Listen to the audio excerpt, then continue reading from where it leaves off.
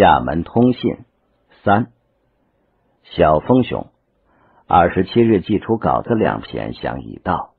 其实这一类东西本来也可做可不做，但是一则因为这里有几个少年希望我耍几下，二则正苦于没有文章做，所以便写了几张记上了。本地也有人要我做一点批评厦门的文字，然而至今一句也没有做，言语不通。又不知各种底细从何说起，例如这里的报纸上先前连日闹着黄仲训霸占工地的笔墨官司，我至今终于不知道黄仲训何人，曲折怎样。如果竟来批评，岂不要笑断真的批评家的肚肠？但别人批评我是不妨害的，以为我不准别人批评者，无也。我岂有这么大的权利？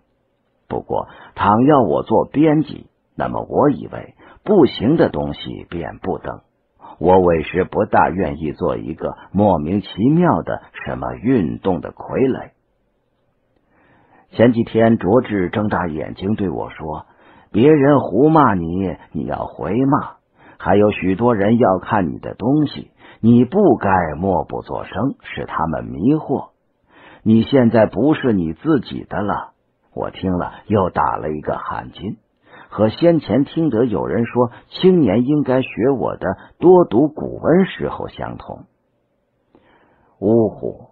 一代指官虽成公务，负帮忙之义务，有回骂之必须，然则故不如从速摊台，还我自由之为得计也。志之高明。未时以为然否？今天也遇到了一件要打韩金的事儿。厦门大学的职务我已经都称病辞去了，百无可为，溜之大吉。然而还有几个学生向我诉苦，说他们是看了厦门大学革新的消息而来的。现在不到半年，今天这个走，明天那个走，叫他们怎么办？这实在使我贾脊梁发冷，哑口无言。不料思想界权威者或思想界先驱者这一顶纸糊的假冠，竟又是如此误人子弟。几回广告将他们从别的学校里骗来，而结果是自己倒跑掉了，真是万分抱歉。我很惋惜，没有人在北京早做黑幕式的记事，将学生们拦住。见面时一谈，不见时一战，哲学似乎有时也很是误人子弟的。你大约还不知道底细。我最初的主意，倒的确想在这里住两年，除教书之外，还希望将先前所集成的汉画相考和古小说勾审印出。这两种书自己印不起，也不敢请你印，因为看的人一定很少，折本无益。唯有有钱的学校才合适。及至到了这里看看情形，便将印汉画相考的希望取消，并且自己缩短年限为一年。其实是已经可以走了，但看着雨堂的勤勉和为故乡做事的热心，我不好说出口。后来预算不算数了，与堂力争。听说校长就说，只要你们有稿子拿来，立刻可以印。于是我将稿子拿出去，放了大约至多十分钟吧，拿回来了。从此没有后文。这结果不过证明了我确有稿子，并不欺骗。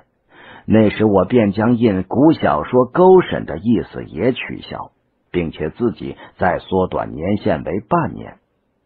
与唐是除办事教书之外，还要防暗算。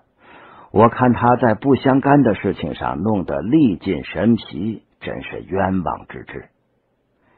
前天开会议，连国学院的周刊也几乎印不成了。然而校长的意思却要添顾问，如理科主任之流都是顾问，据说是所以联络感情的。我真不懂厦门的风俗。为什么研究国学就会伤理科主任之流的感情，而必用顾问的绳将他落住？联络感情法我没有研究过，监事又已辞职，所以我决计也走了。现在去放假不过三星期，本来暂停也无妨。然而这里对于教职员的薪水有时是锱铢必较的，离开学校十来天也想扣，所以我不想来占放假中的薪水的便宜。至今天只扣足一月，昨天已经出题考试，所以结束了。阅卷当在下月，但是不取分文，看完就走。刊物请暂勿寄来，待我有了驻足之所，当即函告，那时再寄报。林默照例要说到天气，所谓利者，我之利也。怕有批评家指为我要勒令天下青年都照我的例，所以特此声明，并非如此。天气却已冷了，草也比先前黄得多。然而我那门前的秋葵似的黄花却还在开着，山里也还有石榴花。苍蝇不见了，蚊子间或有之。夜深了，再谈吧。鲁迅，十二月三十一日。在睡了一觉，醒来听到唾声，已经是五更了。这是学校的新政，上月填设，更夫也不止一人。我听着才知道，个人的打法是不同的，声调最分明的、可以区别的有两种：拖、拖、拖。